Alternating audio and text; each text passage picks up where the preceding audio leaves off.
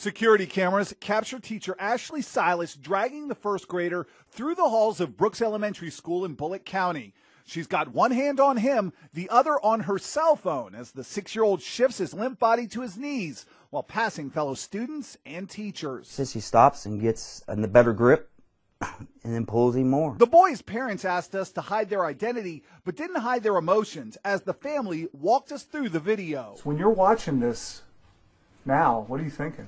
I get I get a sick feeling in my stomach. The teacher eventually reaches the office with the six year old, one eye on him, the other still on that phone.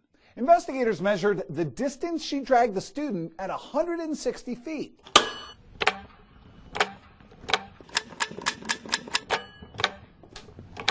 That's roughly the length of this entire hallway. The teacher said she had no other choice because the six year old had become disruptive, was threatening another student, and refused to walk on his own. His parents say he is diagnosed with ADHD but can't take medication because of the side effects, and they're working with the school system to improve his behavior. The teacher later told a three member review board, known as the tribunal, that she wasn't harming the student and that the boy was actually enjoying sliding down the hall and being the center of attention. So I asked him about that. Were you having fun when she dragged you through the hall? You're shaking your head no. It wasn't fun? Mm-mm. No. She said you were having fun. No, it wasn't.